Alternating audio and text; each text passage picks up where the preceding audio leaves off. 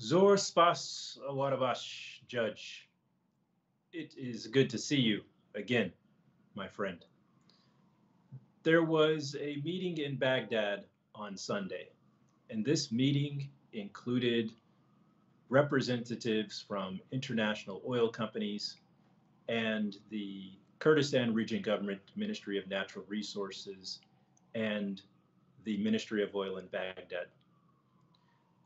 APIKUR has been calling for this type of meeting. We have requested this meeting for many months. When you were introducing this new segment, you explained that now more than $17 billion has been lost to the people of Iraq and the oil companies, and this is not a good situation. During the meeting, we expected that the Ministry of Oil would be ready to discuss solutions to restore exports through the pipeline. But our view is that this meeting will be the first of more meetings and that there is a long way to go until we have agreements to resume the exports of oil. Well, that's right. And it, the, the production and export of oil is a serious business endeavor.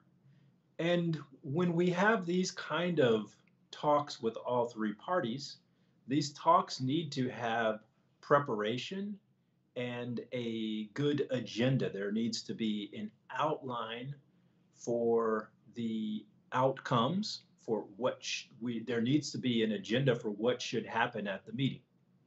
So right now we feel like the meeting might have been a photo opportunity.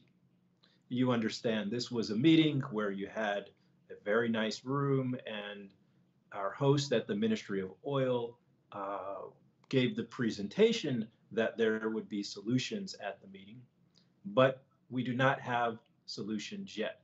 So now we are looking for the Ministry of Oil in Baghdad to have another meeting. And at the next meeting, we want to have serious discussions about potential modifications to contracts. Yeah, you bring up an important point, and let me explain. First, I am the spokesman for the industry, for the Association of the Petroleum Industry of Kurdistan Region.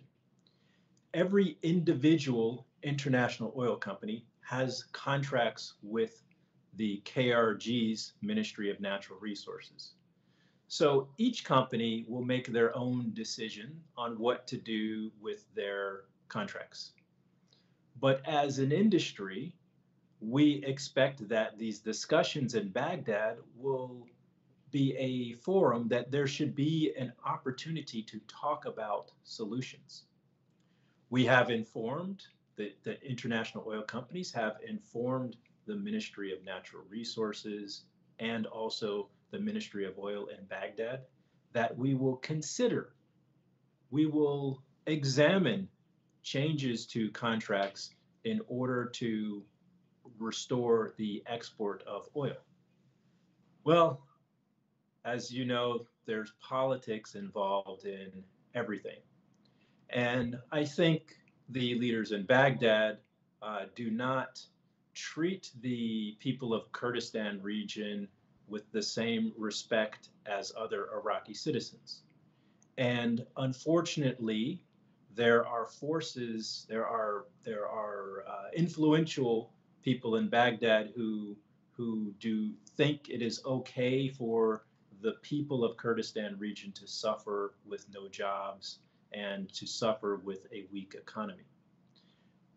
The international oil companies that are members of APIKUR are focused on having a strong economy in Kurdistan region and having a strong sector of employment. And we know that there are employees who have been laid off and that they are some of the families are hurting. And we are trying to do everything possible to have solutions with Baghdad and uh, keep the same financial terms, the same sort of financial arrangements, uh, regardless of if the, the contracts are, are coordinated with or Baghdad. Right now, the companies are continuing local sales to local refi- oil refineries in Kurdistan region, uh, but we want to have the exports resume because that is most important for a strong economy. And we need Baghdad and the Ministry of Oil to have another meeting that will be a serious discussion where they can talk about the details of new agreements.